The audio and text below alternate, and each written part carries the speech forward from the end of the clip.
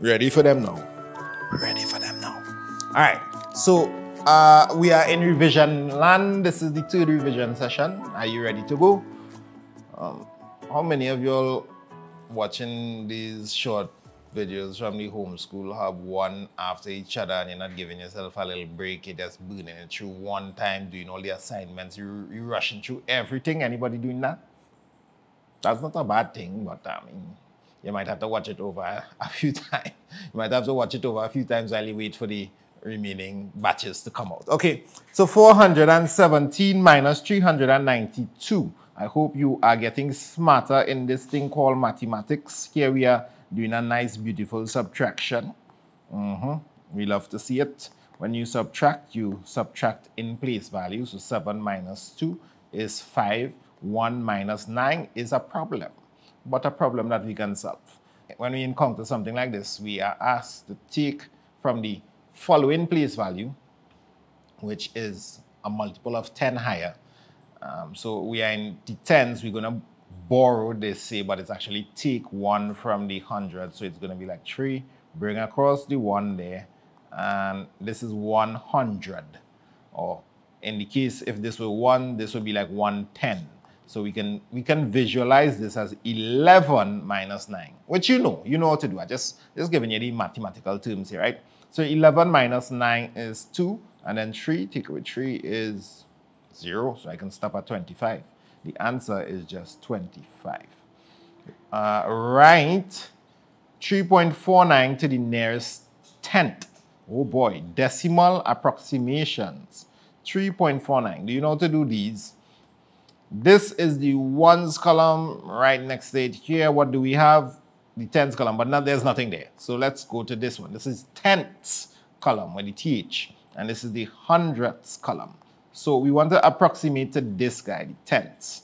So I'm looking here, and then I'll watch the following place value, which is the hundredths. And I'm seeing that it's greater than 5. So you know what to do. You know what to do. Give the 4 the little boost you can only boost them by one, right? So this becomes 3.5. 9, no, no, no. All the numbers after the value that we want change to 0. So this is 3.50. Or 3.5 could actually work if you leave out the 0. Here we have a pizza which was cut into 12 equal sizes as shown below and we want to shade one third. So we really asked one third of 12 and 3 into 12, 4. We are really being asked to shade 4 slices. 1, 2, 3, four. There we go. Any four slices could work. Of course, you may shade slices next to each other, but some adventurous people have been known to shade these slices like one, two, three, four. I don't know why you would do such a ridiculous thing, but if you're adventurous and that is you, yeah. Pretend this is the best shading you ever seen in your life. Okay, I'm trying. best shading ever. All right, let's keep going. We have plenty questions to do. Just, just about five more right? One of the following symbols. Hey, look the inequality symbols, boy. We friends, boy. Welcome back to class by inequality symbols. So we have the greater than, the equal to, and the less than symbol in the box. We want to put one of them. Okay, okay, okay. So it's 3 quarter greater than 712? Ooh, this question is asking me to do a lot of things, you know. It's asking me to compare fractions with different denominators. I need to get equivalent fractions, and to get equivalent fractions, I need to use LCM. So um, the LCM of 4 and 12 is actually 12. So the 7 12s can remain, but 4 can go into 12. You all remember the flow? You remember the flow? 4 goes into 12 three times. 3 4s are 12. And you multiply that by the numerator. So 3 by 3 is 9. So who is the bigger one now? It's the three quarter. Three quarter is actually bigger than seven twelfths. So it's this guy we're going to use. We're to say three quarter is larger than seven twelfths. We know we want the open side to face three quarter. Let's keep going. A piece of ribbon is seven tenths meters long. A piece measuring two fifths meter is cut off. What is the length in meters of the remaining piece? So we once again we've been asked to work in fractions. This is our fractions paper boy.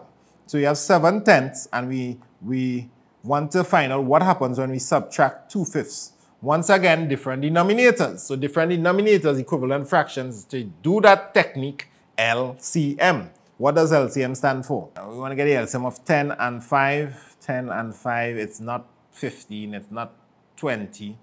10 could go into 20, 5 could go into 20, but 10, 10, 10 is good. 10 could work. Uh, we usually check to see if one of the numbers itself is an LCM. Yeah, so what does LCM stand for? Does it stand for let's curry mango? 10 into 10 is 1. 1 by 7 is 7. 5 could go into 10. 2 by 2 is 4. So 7 minus 4 is good. 7 minus 4 is 3 over 10. 3 tenths of a meter is the answer. Just now, what is the length in meters of the remaining piece? Yes, and there was the unit already placed for us. Two more. Number 6. What fraction of the total number of words did he spell correctly? Oh, there's a little piece to read here. Question 6 and 7 refer to the following information. Instructions, boy. In a spelling test, Peter was given 40 words to spell. He spelled 32 words correctly. What fraction? Ah, he spelled 32 out of 40 correctly then. Can, can 4 go into both of... Wait, wait, wait, wait. 8 could go into both of these numbers. 8 could go into 32 4 times and 8 could go into 45 times. I was able to reduce it quick, quick, quick there, boy. 4 fifths is the way to go. Mm -hmm. We usually express fractions in their simplest form, meaning we reduce them. Peter must spell at least 90% of the words correctly to qualify for a consolation prize. How many words should he have spelled correctly? He should have spelled 90%, which is 90 over 100, of, which is multiply, all of the 40 words. 90% of 40. Cross, cross, cross, cross. 9 fours are 36 words. So he, he spelled 32 correctly. He, he needed four more to go. Four more to go and he would have gotten his consolation prize. Hard luck there by Pete's by. But we can do the last question on them. So LCM obviously stands for common multiple, right? Not let's curry mango. The first four shapes in a Peter, uh, sorry, Peter is sneaking into my question there by Peter. The first four shapes in a pattern are shown below.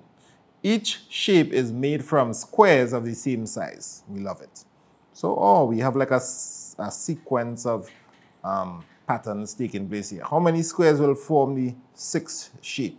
Well, it's square numbers. This is square numbers 1, 4, 9, 16. They can't trick we. Them can't trick we, they square numbers. So six, all of the other numbers here, 1, 4, 9, 16, so who's next? It's going to be 25 because we know we square numbers long time. We know square numbers up to how much? 12, 15, 20, 25, 40 something. Love and blessings. See you in the next class.